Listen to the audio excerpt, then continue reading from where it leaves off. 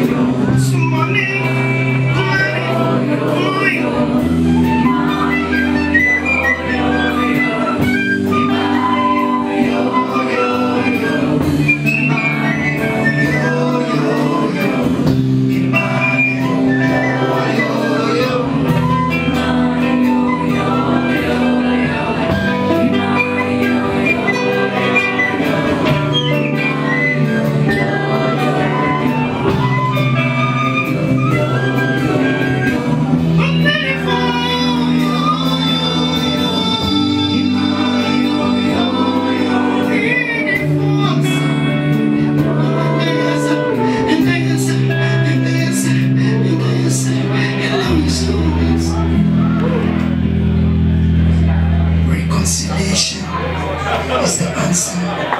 Love is the answer. Love is the answer. Love. Respect to the Aboriginal land. Respect